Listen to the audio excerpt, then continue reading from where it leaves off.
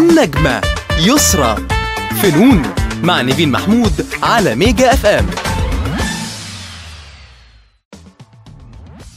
إحنا الستات تفاصيل حياتنا كتير. تفاصيل ما نقدرش نستغنى عنها ولا نتحرك من غيرها. شايلين أفكارنا أحلامنا وأسرارنا في شنطة. وكمان شايلين فيها همومنا وهموم أهلنا وناسنا. قالوا بيسألونا في الآخر شنطة الستات كبيرة ليه؟ نون النهاردة فنانة وإنسانة استثنائية. حضورها وفنها خلونا نحبها بدون تفكير. وجدعنتها وإنسانيتها خلوا كل اللي يعرفوها بشكل شخصي يعشقوها. ومع إنها محترفة في التمثيل إلا إنها عمرها ما مثلت علينا. برحب النهارده بضيفتي في برنامج نون النجمة الجميلة من بره ومن جوه يسرى. مساء الفل. مساء الورد. تسمحي لنا النهارده نفتش في شنطتك؟ ما بحبش حد يفتش فيها بس عشان خاطرك حاضر. المهم إنك تبقي مسامحة. مسامحاكي أول حاجة هنفتش في شنطتك فيها النهارده هي البطاقة والاسم. الاسم طبعا اللي اخترتيه واللي غيرتيه لكن أنا عايزة الأول قبل ما أدخل في الاسم عايزة أعرف الحلم اللي ورا الاسم. أول مرة حلمتي باسمك في مجال الفن والتمثيل كان إمتى؟ آه بعد لما اتفرجت يعني على خلي بالك من زوزو وأميرة حبي أنا. كنت قريت إن السيدة سعاد حسني بتعمل حاجة اسمها ألف بوسة وبوسة وبتحضرها. فقلت الله بتعمل حاجات حلوة قوي الست دي. فتعدي الأيام وتيجي الأيام وأنا اللي أعمل ألف بوسة وبوسة. وسعاد حسني تعتذر عنه وأنا ما كنتش بفكر في التمثيل. وحلم من أحلامي اتحقق إن أنا عملت ألف بوسة وبوسة. مكان سعاد حسني. أيوه كان سعاد ويليها كانت ميرفت أمين وبعدين قرروا إنهم يجيبوا وجه جديد تمام. ده بقى السؤال التاني يعني حضرتك طلعتي في وقت كان فيه نجمات وفي أسامي كبيرة جدا وحضرتك بكل أنا مش عارفة بقى هي كانت بساطة ولا كانت إزاي آه، وصلتي إنك أول طلعة كده كانت بطولة؟ في وسط الأسامي دي كلها. يعني اعتبريني إن أنا كنت فعلا ربنا يعني كان كاتب لي حظ حلو قوي إن الأستاذ عبد الحليم نصر هو اللي يديني أول فرصة وهو اللي قرر يديني بطولة وهو أول واحد قال لي مفيش حاجة اسمها تنازل عن المكانة اللي أنت فيها. لو ده أول وآخر فيلم هتفضلي كده. تبقى اسمك عملتي فيلم واحد وكنت بطلة إنما ما تتنازليش عمرك عن مكانة البطولة. وقال لي كمان نصيحة عم- يعني قال لي لازم تاخدي بالك ما فيش حاجة اسمها احتكار تقبليه. انسي حاجة اسمها احتكار. فدول حطيتهم كده حلقة في ودني. ومشيت على نصايحه. والحقيقة الله يرحمه عمره ما قال لي إني ما كانتش حقيقية أو ما كانتش تستاهل إن أنا أخد بالي من من اللي هو قاله. وكانت لأول مرة تطلقي على نفسك اسم يسرى ولا كنت لسه باسمك سيفين؟ أنا لسه اسمي سيفين ولسه اسمي يسرى لأن هما اسميني. الحقيقة هما الاتنين أسامية. يعني في البطاقة؟ يسرى. طب وليه مشهورة باسم يسرى؟ ليه سيفين ولا يسرى؟ الاثنين الاثنين بيعملوا يسرى اللي إحنا عارفينها دلوقتي. أنا بقى كان عندي جدتين أخوات اللي هي والدة أمي وواحدة قالت أنا عايزة أسميها يسرى لأن وشها حلو والتانية قالت سيفين علشان ده اسم تركي ودي الوردة التي لا تموت أو لا تذبل يعني. فقرروا بقى يسموني الاثنين واتسمت الاثنين هل لما بيكون للست اسمين ده بيخلي لها برضه وجهين لعملة واحدة؟ هل ليكي شخصيتين؟ هو كل واحد فينا عنده أكتر من وجه كل بني آدم ربنا خلقه على وش الأرض بيبقى عنده أكتر من وجه أنت بتستعملي الوجه ده إمتى ومع مين هو ده الفرق؟ آه إنما كلنا عندنا أكتر من وجه أكيد أكيد. زي ما كل واحد فينا عنده الخير والشر زي ما كل واحد فينا بيحب يضحك وينبسط وما بيحبش النكد لكن تلاقيه مثلا ممكن يكون كارف على نكد شوية زيادة يعني عارفة؟ كلنا بيبقى فينا الحاجات دي. يعني إحنا معمولين من نصين. حضرتك برضو من بداية مشوارك آه، عايزين نعرف يا ترى هل كان في أدوار معينة أو اختيارات معينة قررتي إن أنت لازم تمشي فيها وحاجات بعدتي عنها علشان تعملي الاسم ده الاسم دلوقتي يسرى وتحافظي عليه؟ بصي في الأول إحنا ما يعني لا أتصور إن أي حد فينا ممكن ينقي في الأول. انت في الأول بتشتغلي وبس. بس ما بتبقيش عارفة يعني انت هتشتغلي إيه ومع مين وهتقرري إيه وخطك هيبقى إزاي. مش مش ده. ده بيجي معاكي مع الوقت ومع الخبرة ومع الشغل ومع نوعية الناس اللي انت بتتعاملي معاها. وانت عايزة إيه من ورا شغلتك بعد شوية. بس ساعتها لأ. بداية حياتك بتبقى مختلفة. تماما عن بعد سنة وبعد ثلاثة وبعد خمسة من مشوارك. بتفرق كتير. الخبرة بيبقى عليها عامل. بتشوفي نجاحاتك بتبقى من خلال إيه ومع مين. بتقيمي انت وصلتي لإيه. ده شيء آه، بي- بي- بيختلف يعني. الحاجة الغريبة قوي في مشوارك إن انت كان في في موقف معين خصوصا مع حلم حياتك أو واحد من أحلام حياتك إنك تشتغلي معاه وهو الأستاذ. يوسف شاهين لما عرض عليكي أول فيلم ساعتها انت لا اخترتي مع إن كان نفسك تشتغلي معاه لكن رفضتي أول عرض ليه في الفيلم. أنا رفضت عشان خفت أفشل. لو فشلت مع شاهين هعتبر نفسي فشلت في نص حياتي الفنية. وأنا ما كنتش فاهمة. ما كنتش فاهمة يعني أقرأ السيناريو أكتر السيناريو قريته هو ده. عشر مرات. أقرأ الصفحة عشر مرات. أبقى فاهمة الصفحة كويس جدا. أقلب الصفحة أقول أنا بقيت في مسلسل تاني ولا في فيلم تاني ولا في حدوتة تاني لدرجة إن أنا رحت قلت له قلت له أنا مش فاهمة حاجة. أنا مش عايزة أشتغل معاك عشان مش فاهمة. ما يا تفهمني يا مش هشتغل. قلت له كده قلت له بعدين مش عاجبني الدور اللي انت مديهوني عاجبني دور أمال الزوجة أكتر من دور الأخت. قال لي كمان بتتأمري يعني. قلت له آه يعني أنا بقول لك بجد يعني مش عاجبني الدور. سيبنا بعض ثلاث أشهر تقريبا وفجأة لقيته بيصحيني من النوم وبيقول لي قومي هديكي الدور اللي انت عايزاه هتعمليه وهتشتغلي معايا كنت فرحانة جدا وخايفة جدا جدا جدا لأني مش هسمح لنفسي كنت افشل وياه هل كان ده أصلا وارد إنك تفشلي مع يوسف شاهين؟ آه لو مش فاهمة ممكن أفشل. أستاذ شاهين قال انت الوحيدة اللي ما قلدتنيش. إنما يمكن انت ومحمود المليجي لن انساه قلت له إزاي بقى؟ قال لي محمود المليجي ما كانش بيقلدني بس كان بيفهم كويس قوي أنا عايز إيه. ومحمود المليجي ده من أعظم الفنانين اللي جم على وجه الأرض. قلت له يا نهار أبيض يعني أنت بتقارني بيه؟ قال لي لا أنا مش بقارنك بيه أنا بقول انت ما قلدتنيش وهو ما قلدنيش.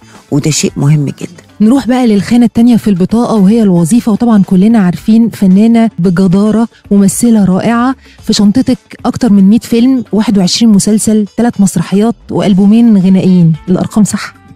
يعني تقريبا آه صح. حضرتك مدمنة شغل. أنا بشوف إن أنا من غير شغل كده ماليش لازمة.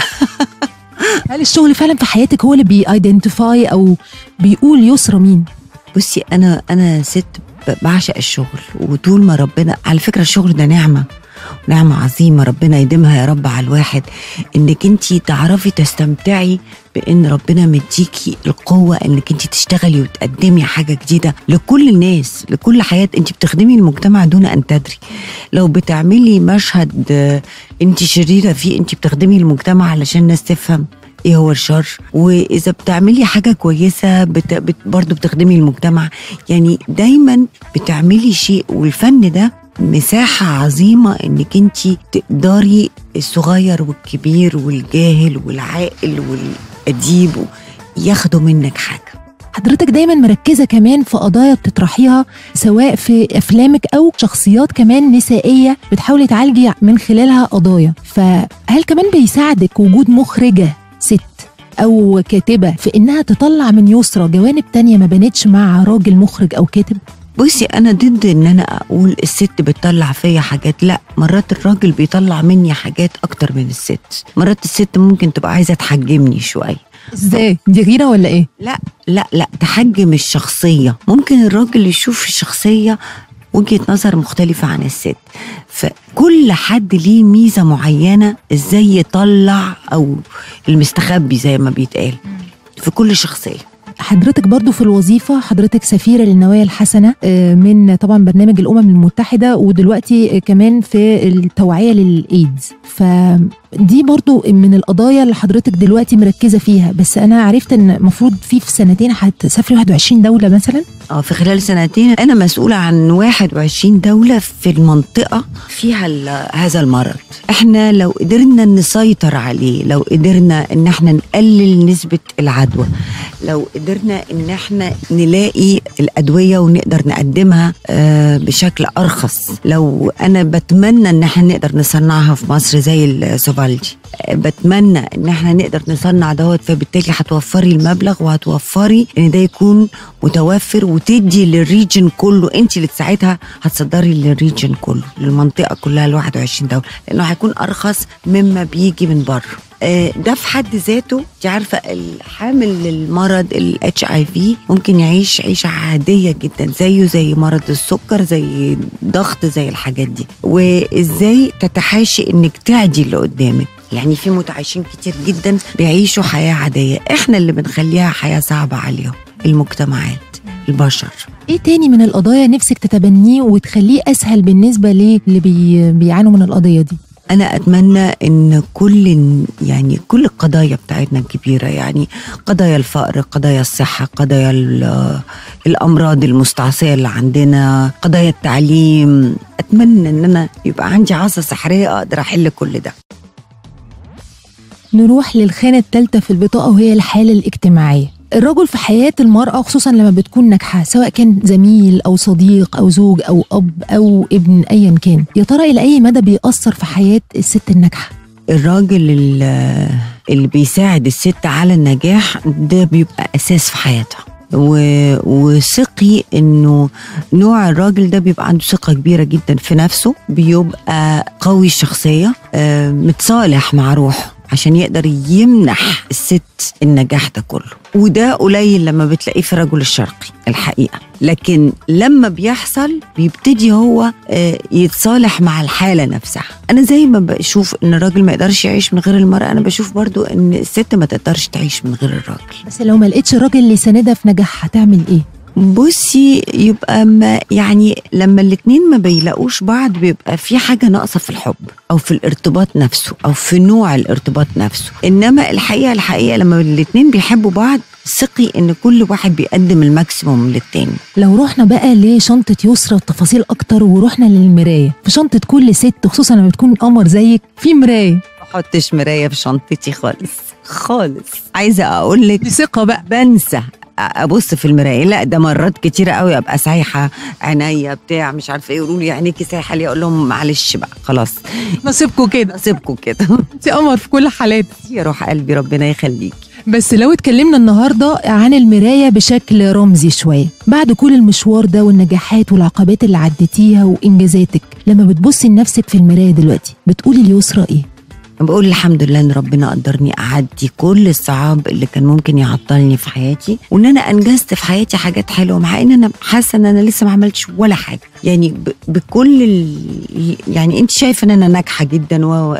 أنا حاسة إن لسه قدامي عايزة أدي لحد لما أموت في الفن ولا في ال- الحياة أصل الفن هو حياة والفن هو حدوتة كبيرة جدا بتقدري تمارسي فيها كل أنواع الرسائل من خلال الفن. ف... فالفن جزء من حياتي كبير جدا جدا. ما أقدرش أعيش من غيره.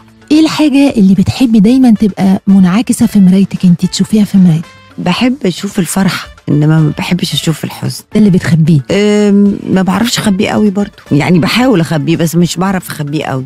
ولو في شخص في حياتك هو مرايتك يبقى مين؟ جوز ببقى وحشة في حاجة يقول وحشة جدا هنا. آه كويسة جدا هنا. أنا فخور بيكي جدا هنا. أنا مبسوط منك جدا هنا. الواحد لما برضو شغله بيزيد وخبرته بتزيد في مفهوم عنده بيتغير تجاه أشياء أو أحاسيس. حاجة وانت صغيرة بتتغير مع الوقت مع التجارب ومش عيب إنها تتغير على فكرة.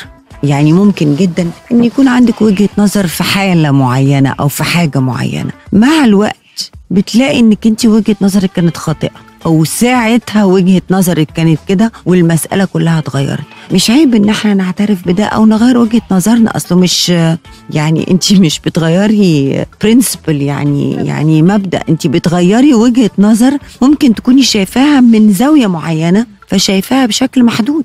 هل نظرتك للشهرة دلوقتي اتغيرت عن زمان؟ آه طبعا المعنى اتغير معايا. مع الوقت. كل شيء اتغير مع الوقت. يعني زمان كنا بن بنتصور إن الفنان ده عايش يعني في برج عاجي ومبسوط ودموعه دي عبارة عن لولي وبيعرق بارفان وعايش في السماء السبعة يعني آه حاجات كده. إنما الحياة مش كده خالص. الحقيقة مش كده خالص. الحقيقة إنه ال- البني آدم مننا أو الفنان بيبقى مهموم بمشاكل كتير جدا جدا في حياته. والشهرة ما بقتش أحلى حاجة دلوقتي زي ما كنت بتشوفيها زمان. الشهرة الشهرة جميلة وبتديكي واللي يقولك إن هو اصلي زهقت من الشهرة اصلي مش لا لا كذاب جدا أو كذابة جدا. الشهرة ليها جمالها وليها قوتها وليها تأثيرها. تأثيرها على صاحب الشهرة نفسه اللي هو اللي بيشتهر وعلى اللي حواليه. بالعكس دي نعمة.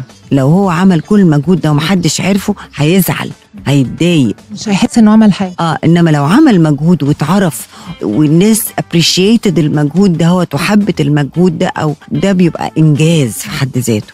فلا الشهرة ليها جمال وليها كل حاجة.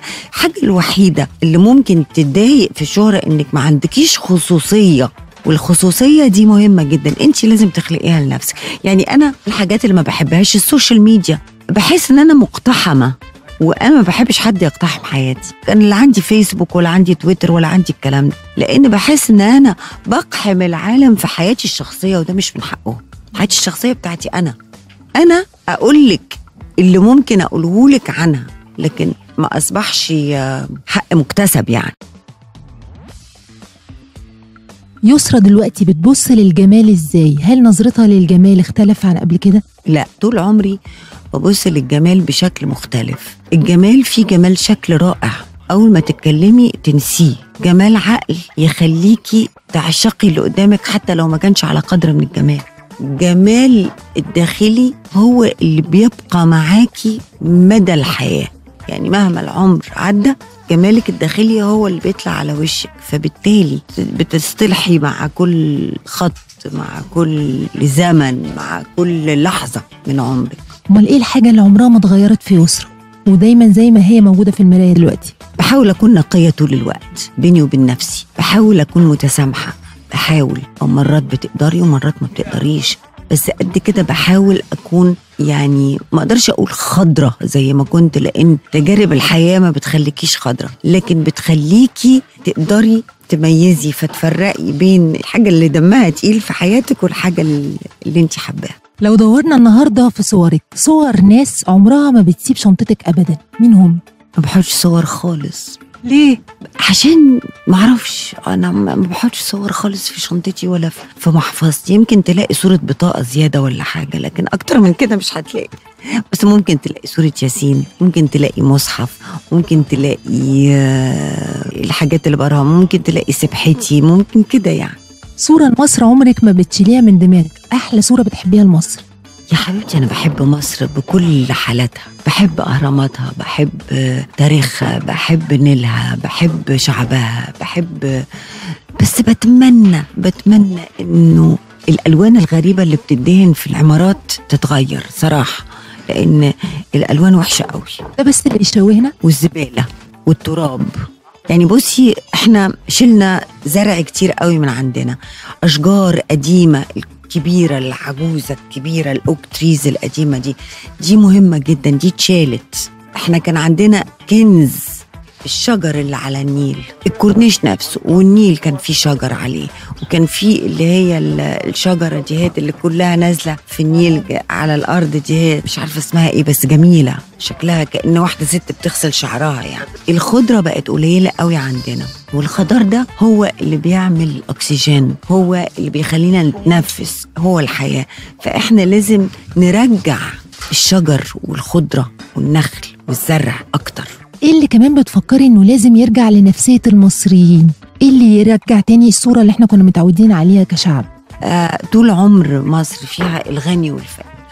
بس زمان الغني كان يغسل الجلابية ويستناها ويلبسها بتشف وترف تبقى زي الفل. إيه اللي جرالنا؟ على فكرة النظافة ملهاش علاقة بالفقر. في ناس اغنياء ملهاش علاقة بالنظافة. فيعني عشان كده بس بقول افتكرش إن إحنا بنتكلم على فئة معينة. أنا بتكلم على إن النظافة ربنا خلقها جزء من الإيمان. فالنظافة دي لابد إنها تكون موجودة فينا تبقى جزء من حياتنا عشان نحافظ على صحتنا ونحافظ على النعم اللي ربنا اداها لنا. النظافة جزء من الحفاظ على اللي ربنا اداهولك. آخر حاجة بقى لو دورنا في شنطة يسرى هل بيفرق في شنطتك وجود جوائز؟ بصي ما فيش حد بيشتغل عشان ياخد جايزة لكن لما بياخد الجايزة بيفرح وبينساها أول ما يروح البيت. صدقيني مش عشان حاجة بيفكر في اللي بعده على طول. انت ما تقفيش عند جايزة واحدة في حياتك. ما ينفعش. تنتهي. لو وقفتي عند جايزة لو استنيتي عشان تاخدي الجايزة ولا تقولي أنا ما أخدتش الجايزة دي ليه؟ ولا أنا اللي كنت أستحق الجايزة دي؟ خلصت. أمال إيه اللي بيفرق دايما معاكي تكون في الشنطة؟ موبايلاتي يفرقوا معايا جدا لأن لو عايزة حاجة هكلم ماما وهسأل على أمي وهسأل على جوزي وهسأل على البيت وهشوف عايزين حاجة ولا لأ. كده يعني. بس موبايلاتي بتفرق معايا علشان بس لو احتجت حاجة ألاقيها يعني أبقى أبقى عندي فاسيلتي كده. الشماعة اللي تخلصتي منها فورا عشان ما تبقاش في شنطتك وتضايقك. الشماعة يعني اللي بيضايقني مرات إنه في ناس كده هوت كدابه وأنا بعمل الدور ده على فكرة السنة دي. يعني في ناس بتديك ايحاء انها صادقة جدا بس هي كدابه جدا. و... وفي ناس كتيرة بقوا موجودين كده في حياتنا مش عارفة إيه ال- الموديل الجديد اللي طالع ده. وبياخدوا دايما اعذار علشان يبرروا بيها شمعتهم يعني للكذب. آه آه دايما كده. يعني هو دي الشخصية اللي أنا تقريبا بنتكلم عنهم في المسلسل الجديد. ما انت في شنطتك السنة دي خيط حرير صح؟ في شنطتي خيط حرير عشان أموت بيه فعلا هو دور شرير ولا إيه؟ لا لا لا دور دور مش متوقع وجديد جدا عليا وأنا عمري ما عملته. لكن الحقيقة الحقيقة ميزة الدور ده هو إن هو من واقع الحياة مش مش متألف. آه ممكن يبقى في بعض الأحداث خارجة عن إطار الحياة يعني بتاعنا لكن بتحصل بتحصل مع ناس وناس. إنما الشخصية دي في ناس كتيرة قوي قوي في حياتنا شبهها وده خطر. هتقولي لنا تفاصيل شوية ولا؟ ولا حاجة تقعدي تتفرجي وبعدين تكلميني. ده أكيد. آخر حاجة عايزة أطلبها منك هي رسالة لكل نون بتسمعك دلوقتي. تقولي لها إيه؟ نون. هقول لكل ست انت أم عظيمة وامرأة قوية وصامدة وصبورة وبتضحي بتضحي عشان أغلى الناس حواليكي. ما تستسلميش. واوعك تفتكري إنك أنت هتكوني مقهورة لو أنت عايشة في عصر ذكوري زي ما بيتقال. مع إن أنا مش حاسة بده خالص صراحة يعني. أنا في بعض الناس بتحس بده لكن أنا ما بحسش بده خالص. بقولك يا أجدع ست مصرية أنت عملتي حاجات كتيرة جدا بإرادتك بصبرك بصمودك بصبرك لو كنت فقدتي ابن وراح شهيد بصبرك على أي تعب بتمري بيه بصمودك بقوتك بجرأتك. أنت قوية جدا جدا استمري في قوتك بس ما نفتريش. إحنا بنفتري لا سمح الله؟ مرات. قليلة يعني. يعني حبة كده ما إحنا برضو ستات. بحكم ما إحنا شايلين يعني. أيوه ما إحنا شايلين بس يعني ما نفتريش. أهم حاجة ما نفتريش. أنا مش قادرة أعبر لك عن سعادتي قد إيه إن أنا معاكي النهارده وإن أنا باصة في عينيكي الجميلة وشايفاكي. منوراني قوي قوي قوي ميرسي. إحنا اللي بنشكرك جدا ونورتي إذاعة ميجا إف إم كلها. آخر حاجة تقوليها للمستمعين؟ أه بحبكم. من قلبي بحبكم. ربنا يحفظ مصر وينصرها على كل أعدائها اللي في الخارج واللي في الداخل. الدنيا فرح هم نجاح وهزيمة حمل تقيل. ولو فكرت مين اللي يقدر يشيل حمل الدنيا كلها ولا يتعبش؟ دور على نون.